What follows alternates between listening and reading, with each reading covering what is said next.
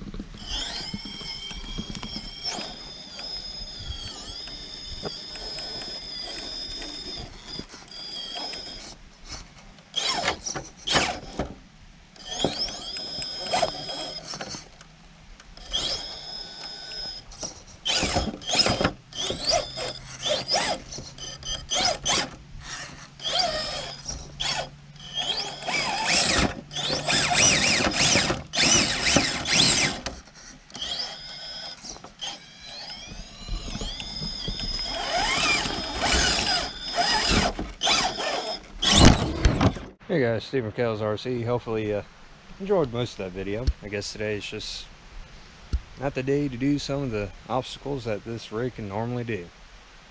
But if you like the video still, like, subscribe, and I'll catch you all on the flip side.